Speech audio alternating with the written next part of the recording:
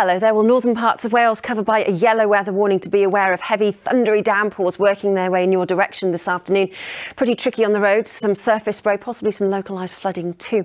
A little bit calmer and quieter elsewhere. I've got murky conditions, low-lying cloud pushing in and it's breezy in places, but the temperatures are holding up with highs of around 20 Celsius. Not particularly pleasant. Again, we'll see a further few showers as we head through this evening, tending to ease off as we head into the overnight period, but again, low cloud, misty, murky conditions by the early hours of tomorrow tomorrow morning as the winds ease back. Temperatures hovering at around 13 or 14 Celsius, setting us up for a pretty decent day for tomorrow. I'll see you later.